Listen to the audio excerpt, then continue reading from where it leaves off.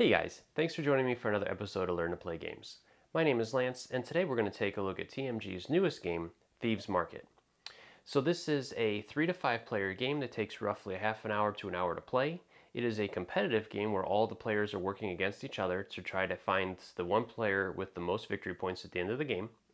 And you will do this in the game by having one the first player roll all the dice and then he will start by taking a certain number of those dice or and or the first player marker. From there, it'll move around the table with each player either taking from the pool in the center or by stealing all of the objects that another player has, which would be his dice and potentially the first player marker. Once all the dice are gone from the center, then you would go into the buying phase where each player is allowed to purchase a card from the market, and this will continue until all three decks of the market card are gone. At that point, the players will total up the number of victory points that each of them has, and the one that has the most will be the overall winner and the most notorious thief among the players. So, my opinion of this game so far is um, it is pretty good. I enjoyed it. I like these little box games that uh, TMG puts out. Uh, each one of them does bring unique things to the, the table. Uh, the interesting thing with this one is the balance of trying to figure out your other players and how many um, things you can grab from that center before players start taking notice and go after you.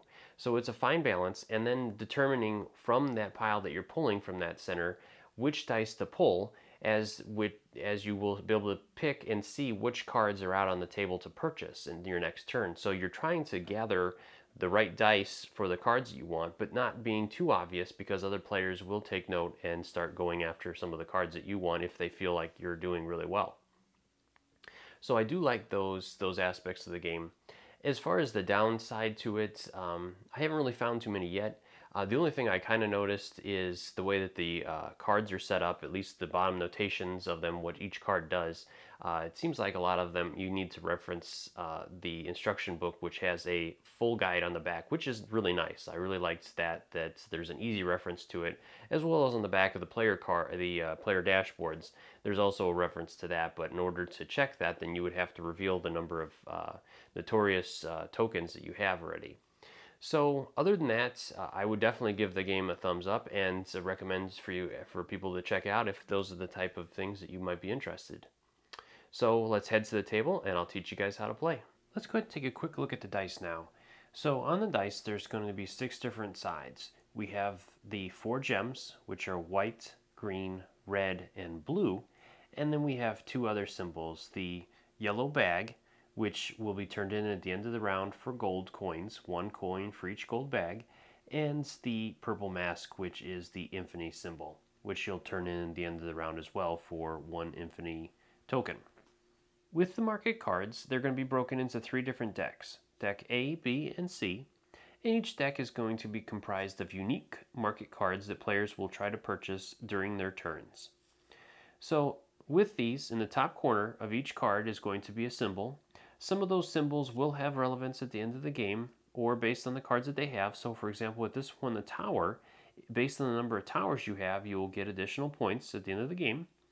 And other symbols at this point are just there for placeholders and might be used further in other expansions if they come out. After that, then we have the name of the card at the top.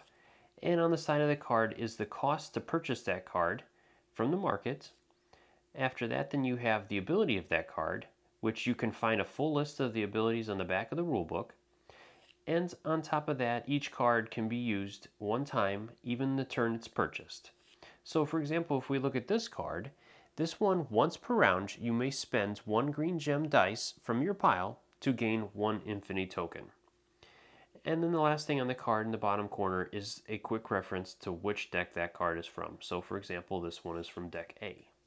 For game setup, it's real straightforward. Each player will get a quick reference card, and then it will actually take you through the steps of setup. So each player will receive one gold coin, which will stay out in front of the players. Everybody knows what each player has. From there, then you'll set up your loot dice based on the number of players. So we're going to go ahead and play with a three-player game. So we'll go ahead and grab 10 dice. From there, then we're going to go ahead and set up our market cards. So we will shuffle each deck and then draw out a number of cards randomly based on the deck. So for deck A, it has 16 cards in it, and we only will play with 13 cards, which is listed there.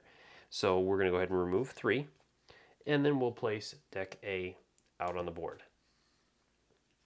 With deck B, it is comprised of 19 cards, and we're only going to need 12, so we'll count out seven of those. And then the rest will go out on the field. And last, deck C, which is comprised of 14 cards, and again, we will only need 11, so we'll move three from that deck. From there, then we can go ahead and place our first cards out for the market A, and so you'll flip over the first five cards from that. From here, the last thing you'll need to do is choose the starting player, which you can do in any way you want. So we're going to go ahead and give it to uh, this player over here. You're also going to want to put out the gold coins, an easy reach of all players, as well as the infinity tokens. And I like to separate those between the ones that are one points and the ones that are five points.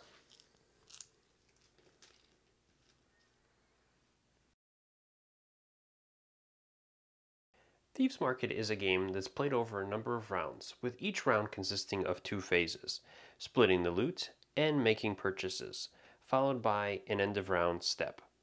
We're going to go ahead and take a closer look at each one of these phases now. So the first phase in each round is splitting the loot. So the player with the mark, or first player token, will be the starting player, and he's going to go ahead and grab the loot dice and give them a roll into the center of the table. From there, then he will place his mark as one of the objects the players can claim. And then starting with him, he will go ahead and just choose which dice that he would like to claim or which objects he would like to claim as part of his loot. Now you may want to pay attention to the market cards as these are the cards that you're going to be purchasing with the dice that you take from this phase during the second phase. The other thing you want to keep in mind is that you don't want to be too greedy because other players are going to have a choice of taking loot from the center or stealing all the loot that you have. So you don't want to take too much because the other players will simply just take it from you. So let's go ahead and take a white gem. Let's go ahead and take a yellow sack and a purple mask. And then he is going to go ahead and stop there. From there, then it'll go to the next player in clockwise order, and then that player will decide whether he wants to take any of the, the dice or objects that are in the center of the table, or steal all the dice from another player. If he does steal the dice from another player or all the loot from another player, then he will take that loot and add it to his side, but he must return at least one item to the center of the table, whether it's a dice or another object. If he returns a dice to the center of the table, he must re-roll it into the center. So that player is going to go ahead and just take some more stuff from the center.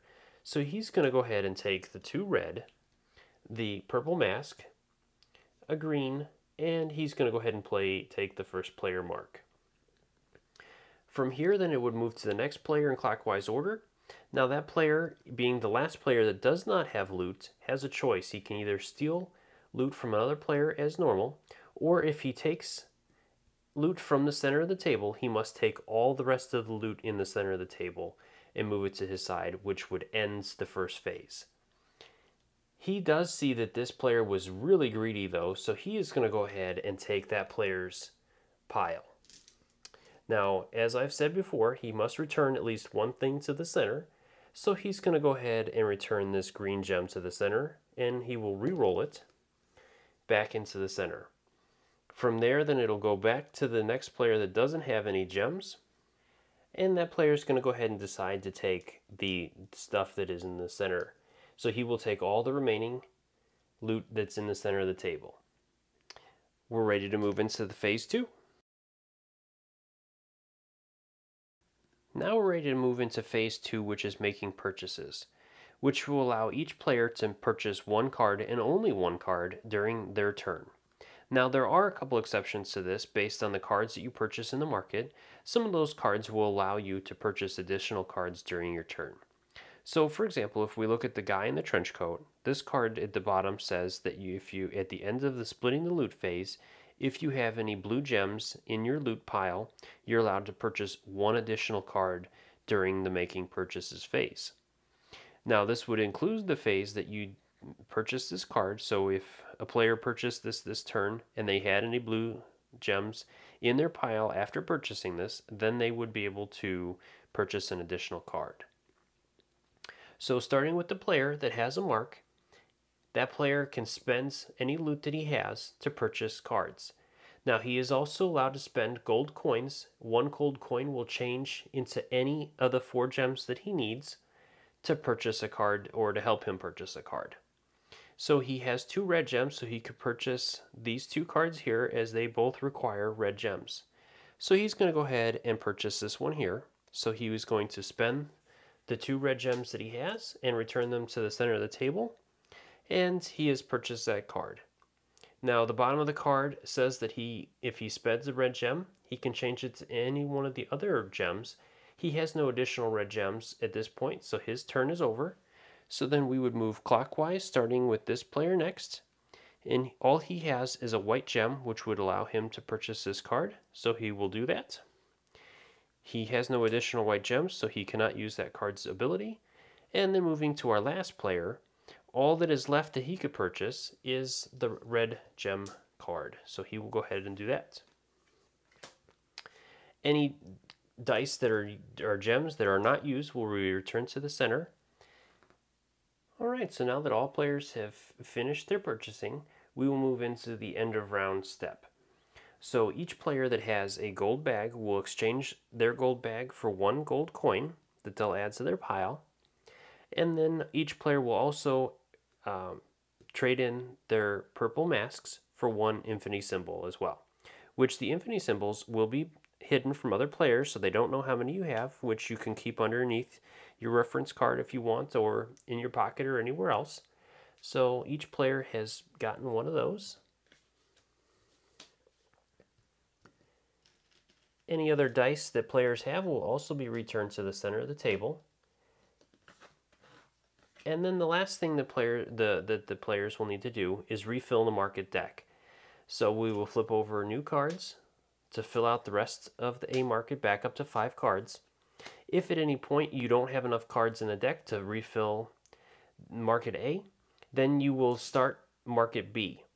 Any cards that are market A will remain on top or remain out, and those cards can be purchased as well. So when you move into market B, you'll have additional cards out.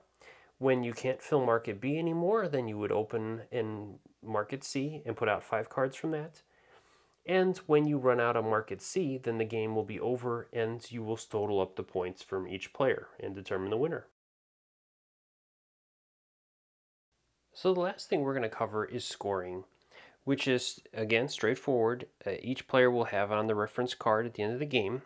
So the first thing we would do is each player will count up the number of henchmen that they have in the top corner of their cards. The player that has the most will receive three infinity tokens or three infinity points, and the player that has the second most would receive one point.